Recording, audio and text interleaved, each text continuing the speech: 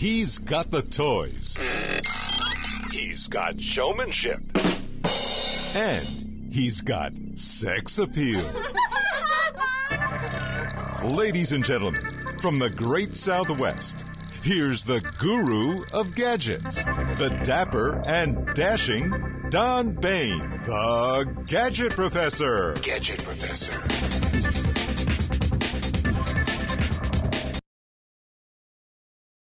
Hello, everyone. This is Don Baine, the Gadget Professor, coming to you live and in color from NAB 2014. We are located uh, in the North Hall, uh, right between the two. Uh, the two places where you exhibit register and you attendee register. So uh, people are starting to filter in uh, for sure, and uh, this place will be really packed in about an hour. And as I look out the doors, uh, they're just flocking in. So we are here today uh, to bring you interviews every 15 minutes with the latest in technology. And today we are very honored to have the people from Cobalt here, and they make some amazing converters. And uh, I actually use them, uh, believe it or not. And uh, let's turn the show right over to Jesse. Jesse, how you doing? Oh, I'm doing well, thank you. Uh, so I'm the Western Region Sales Sales Okay. Manager and Product Manager. Uh, Chris is going to give us a little history on Cobalt. Excellent. He is our Senior Executive Vice President of and Christopher, thank you for coming in. I appreciate it very much. I appreciate being here. Uh, yeah, so I can tell you a little bit of the history of the company. Uh, 1997, it was founded by Gene Zimmerman. Right. Uh, Gene has done many things. He's won Emmys for doing uh, Really? uh, uh, engineering for Olympics. Wow. But uh, he was asked by uh, NEP, uh, they were looking for uh, SDI to analog uh, down converter in a little box. They said they wanted 200, and so he was just doing that as a, a favor for them. And then they purchased some like 3,000. He thought, Oh my well, God. this is actually a company. And so that's where the company Wow. started, little throwdown boxes. I had no idea. Yeah, th- little throwdown boxes from there, and it's grown since then. 2006, we uh, uh, co-founded Open Gear with Ross Video and Ward Beck, Okay. and uh, that's uh, we are now uh, a major Open Gear partner, and the Open Gear family is 50 to 60 different companies. Uh, anybody who doesn't know Open Gear is cards all fit into a standard frame format. Uh, so uh, I've been with the company eight years, and so you know we- we've we've seen considerable growth from 1997 when Gene started. We have a number of new products uh, displayed at this show uh, that- that we're displaying, um, and uh, I'll hand over to Jesse to give you a little bit Great. more uh, information on those. Okay, thank, Thank you, you. Chris.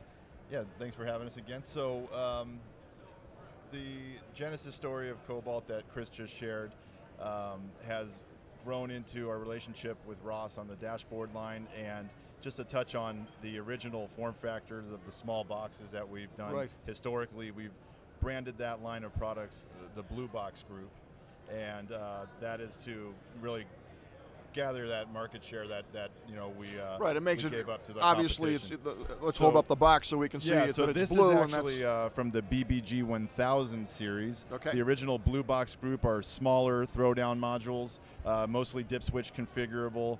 Uh, within that range, we have uh, fiber optic, uh, single and dual channel transmit receives. We have transceivers. Uh, we have uh, a range of analog to digital, digital to analog converters, very high quality uh, converters with audio embedding, de-embedding. We have SDI uh, to HDMI and HDMI to SDI converters. Um, you can force RGB or YPbPr color space is very popular with system integrators, very flexible platform. If I can just interrupt Sure. Jesse there, on the HDMI to SDI, SDI to HDMI, we have a unique, uh, we're able to power it through USB from a monitor. Oh really? So this actually means oh, I did that not know that. This, this what means a, what a there's no- convenience that is.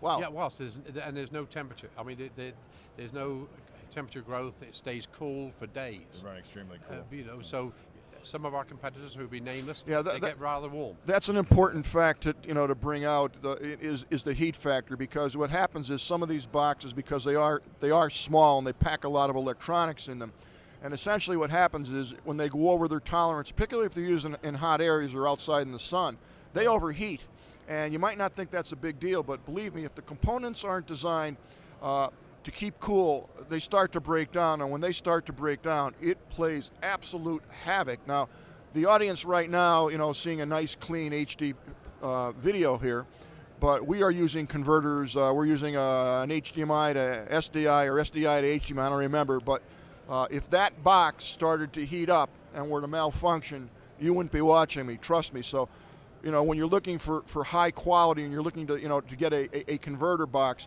you want to look at the Cobalt because th- they are designed to withstand the heat, as you just mentioned, Yep. and that's an important factor, and it's an Yep. important cost factor. So even if you're paying a little bit more, b- believe me, it's worth it to avoid that heat issue.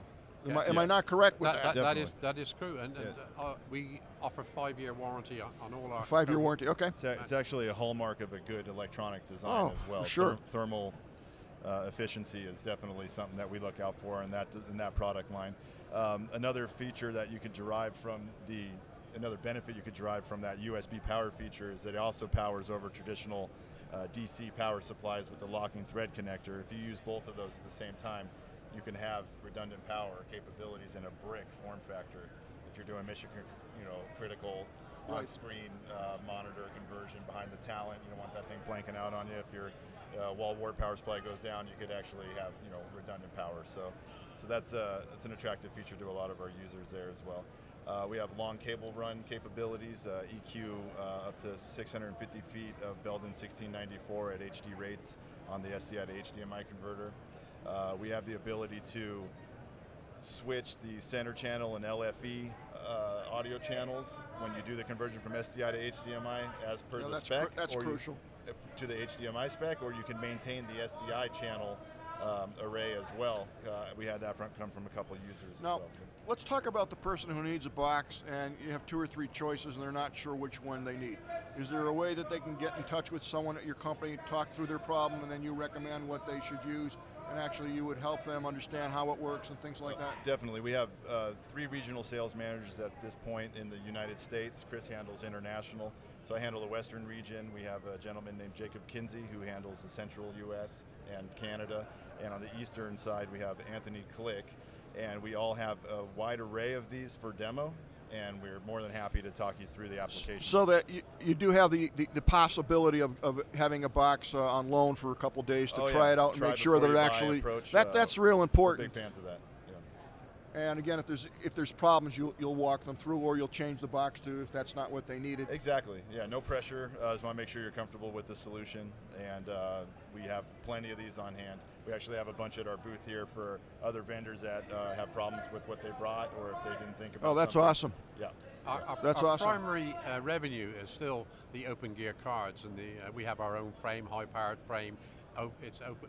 All cards, open gear cards, will fit into this frame, plus the uh, the the Ross open gear frame. Right. So we, we they, these are some new products we've also introduced this year. I'll let uh, uh, Yes. Jesse talk about the. So, touching on the Open Gear frame form factor, uh, it is an open consortium of manufacturers, of which we're one of the founding partners. Uh, the beauty of that system is it has one unified control software GUI called Dashboard, and uh, all, all manufacturers design their products to meet the physical and power specs of the Open Gear standard.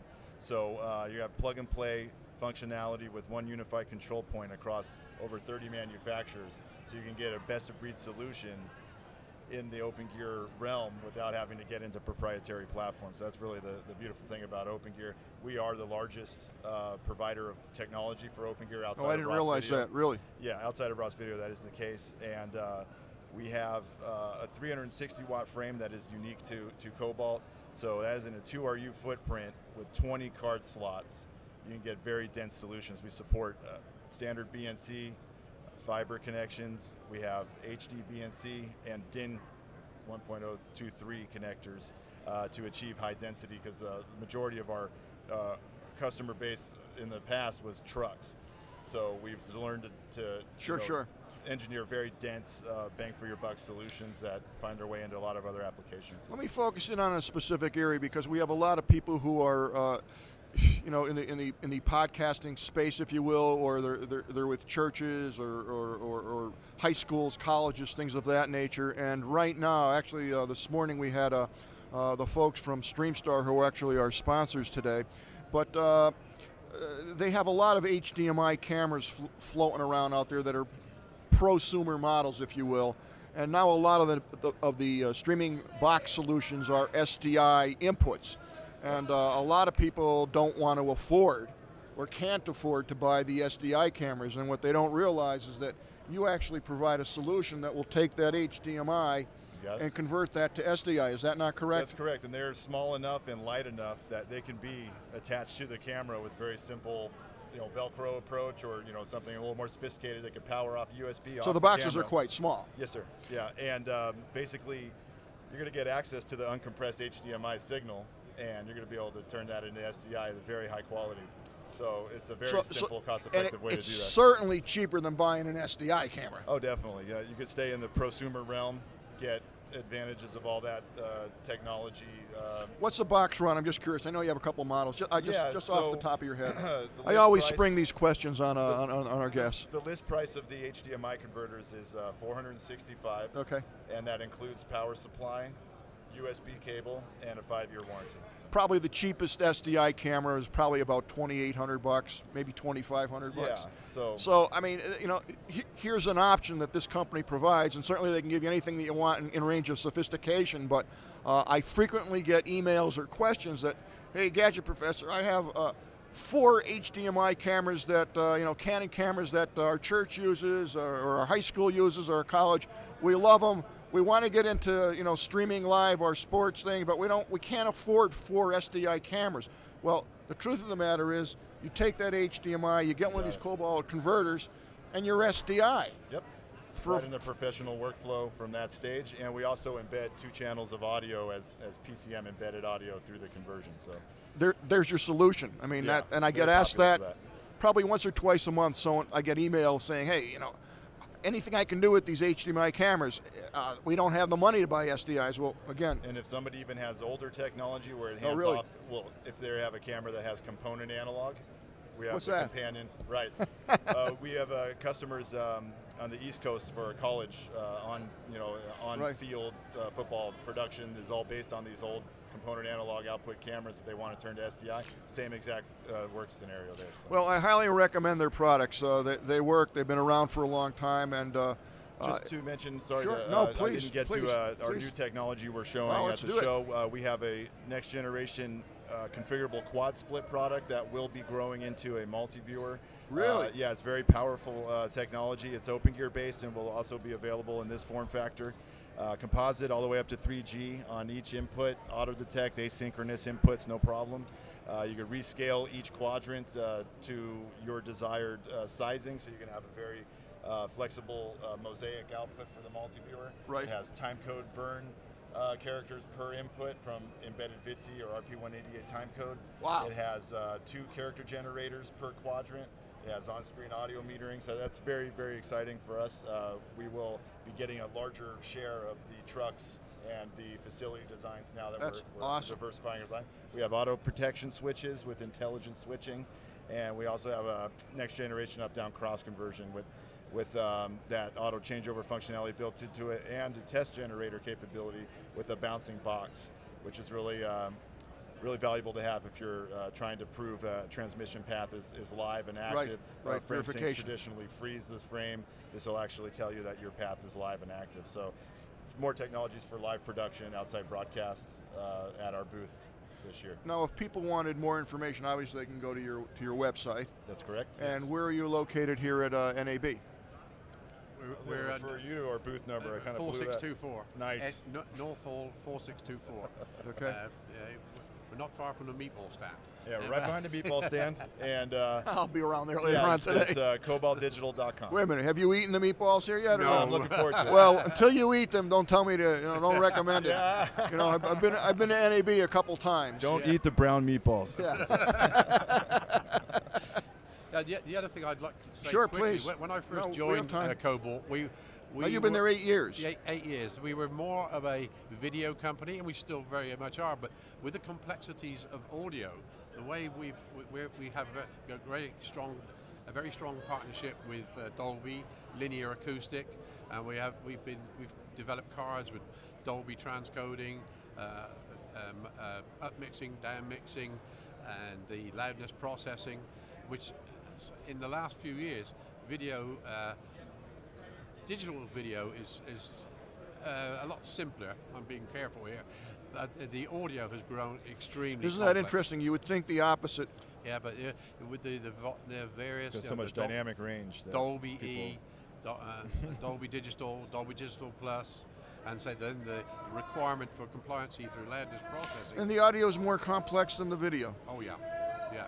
Yeah, it actually is. I'm Uh, surprised. quite a few standards, and it's very flexible. There's metadata involved, and uh, beyond the hardware solutions that Chris was referencing there, where we do partner with the two industry leading providers of that technology, we have some software solutions, uh, specifically uh, CALM compliancy solutions, the FCC mandate that everybody needs to have consistent loudness across commercials and programs. Okay, We sure. have a software product that actually will log your performance of your facility at the final emission point and store that data for up to a year. If someone were to complain, you could go back to the FCC and prove that you're Wow. in compliance. So and that- we do the processing as well. That stuff, I mean, that's critical. That's that's law at this point. You have very, to have that for valuable tool. validation. Yeah. Yeah, ten thousand dollars of fine. Uh, we come in under that on a normal uh, project, uh, so it's like a no-brainer to pick Oh, that I'm glad up. you mentioned that because I, w- I wasn't even aware of that. I mean, I knew of the law, but I didn't realize you had the equipment to validate.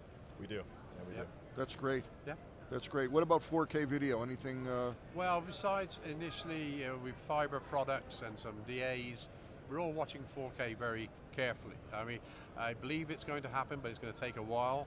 It's probably got more legs than 3D, but those legs have got to start running. And our, you see, I mean, this is what we just talked about uh, before you, you folks came on. Is is uh, you know the, the progression? Actually, it's an interesting thread, if you will. If you've been watching the uh, the show from uh, nine o'clock this morning, everybody that's been here has, in some way, shape, or form, uh, uh, either shown a 4K product or, or at least mentioned it. Uh, in, in their technology or in the future of technology. Now, I'm kind of with you. You're saying it's not quite here yet. We just had AMD just before you Yep. with, uh, man, they, they had a, a box that was, I mean, beyond on steroids. It was four channel, uh, eight, uh, 4K, 6K. Yep. Right. And uh, I mean, that technology did not exist two years ago. It just did not exist. And here they are. I mean, they're demoing it and they're showing it, and it exists. So, you know, I was shocked that they were that far down the line. We're, we're poised to deliver beyond the fiber and the distribution amplifiers that Chris mentioned. Uh, our next generation platform is a quad path 3G SDI platform. So uh, we have a lot of success in color correction for onset monitors or Right. live broadcast. Uh, we have the ability to probably turn around a 4K color corrector very quickly. Really. Uh, we also have. So, uh, so it, it's in your portfolio. I mean, there's no question about that. it's it's it's coming down the pipe. Uh, we're also going to have down conversion. You know, it, it's all uh, capable on this on this platform. and Christopher, you think it's still a couple of years away? I mean, oh, yeah. mainstream. Yeah, I, I think the production. I'm more of your- aggressive about it. It's going to happen Production- sooner. I'm just curious. It's just interesting to hear people's positions on it. Now, um, production are using it. Uh, some, some live uh, uh, using 4K. Uh, uh, to the to be fully accepted, you've got to uh, persuade the consumer to uh, purchase sets, Well, well- and also you've got to be able to pipe it to the home. Well, Here's the big problem.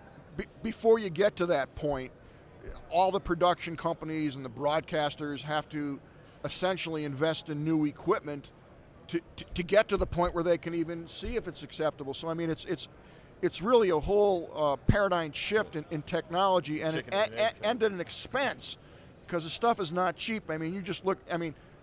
Just your box alone, that which is not the expensive part, but when you start looking at cameras and, and recorders and, and, and all the equipment that surrounds the 4K environment, Yep. uh, it's a we're talking some Well, serious uh, cash. Especially here. when you look at plants who uh, uh, take spend an awful lot of uh, revenue, money going to HD, and now you're telling them you go the next step. Yeah, Uh, that that's where I see it's lower volume, but uh, sports production is going 4K in some regards. Uh, No but question. We do a lot with the high-end studios in Los Angeles, and they do have a mandate internally to They be do. ready to go. And they're missing tools like Graticule generators, color correctors, and that's that's where we could fill the bill. But that is a lower volume side of the business. it's interesting.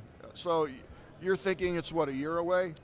Well, I'm talking to people about this stuff uh, now. So, So you're yeah. saying it's here now? in in I'm just in, curious. In the higher echelons of, of Hollywood, it's here now. Yeah, Yeah. definitely. yeah. And you're saying a year well, or 2 I'm looking more at the at the Consumer end. Consumer end. okay, yeah. and how long you think that is? It- it- we've got to find a way to uh, pipe it to uh, the home. Yeah, and I I don't know how they're going to do that. ATSC 3.0, I don't think is encompassing. I'm speaking out of school now, but uh, that part of the, our business moves very slowly. You know, so uh, this would be new media delivery over the top, Netflix type of stuff. Um, you know, and uh, you know cinematic uh, release Oh, level. that's very interesting. Well, I thank you, gentlemen, so much for coming in. It was Thank you for this fascinating, and I wish you uh, Okay, much no, thank- success. And uh, we'll contact you, or you contact me, and we'll have a we'll have a video for you. All right, I'm looking forward to it. Thank you very much. Great. We'll- we'll- Thank you. I appreciate we'll- you coming. we- We're able to put that on our website. You were able to do whatever you want with it. Okay. Absolutely. All right. I'll, I And you will- had the Gadget Professional's approval because I love your stuff. Okay. Okay. Thank you very much. pleasure, sir.